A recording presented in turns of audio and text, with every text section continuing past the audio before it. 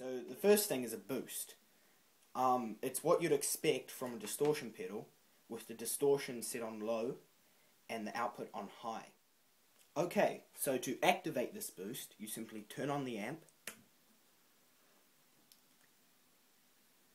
make sure you're on a distortion channel, right now I'm on crunch, hold down the tap button, and move your drive past 12 o'clock. You should get that. That the clean and insane light up together.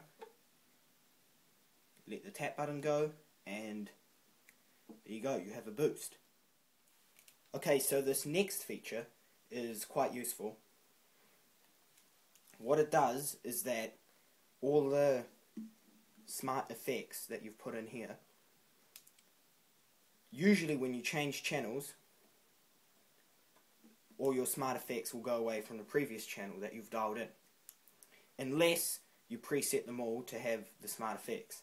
With the, what this one does is that all your smart effect presets that you put in get carried over to the next channel. I'll show you how it works. To activate it, simply hold down the insane button when the amp is off and then turn it on while you're still holding the insane button.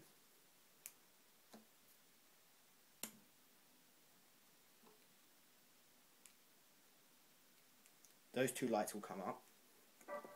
Then you put in the special effects that you want.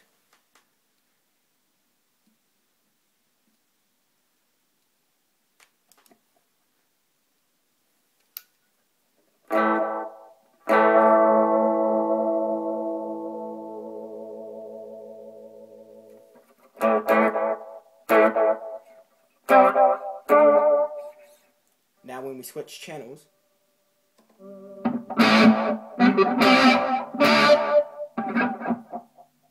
those effects stay. The next feature is simply a noise gate. And for me, it was just activated by default on Metal and Insane. Crunch and Clean didn't have a noise gate. To activate it, make sure the amplifier is turned on. I'll put it on Crunch for this demonstration then you want to hold down tap. And can you see the last effects? Special effects knob. That's the one you want to turn all the way into reverb as you're holding down tap.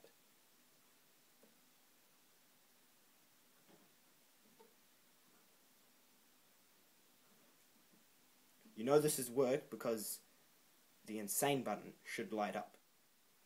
The next feature is a factory reset Simply all it is is that it sets every single channel back to how you got it from the store.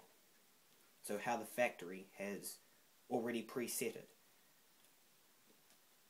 To do this, simply hold down the clean channel and turn on the amplifier. I'm not going to do this because I like my presets how they are. For this last one, we're going to use the tap feature. So all this is, so you turn on your amplifier and put on an effect like tape echo.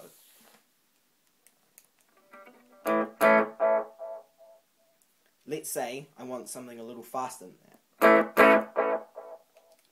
Well, you just set in the metronome beat that you want this to go at, or the rhythm of the song, whatever and you input it in by just tapping it.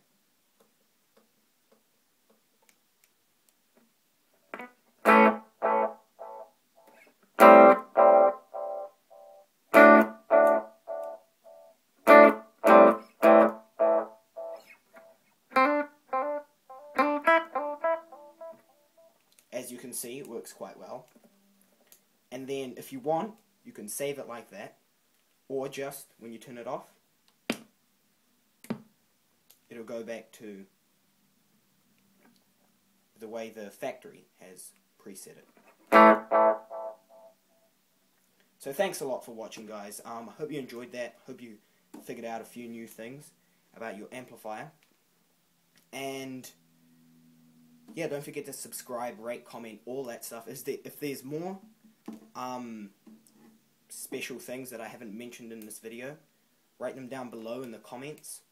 And see, another, see you in another video, guys.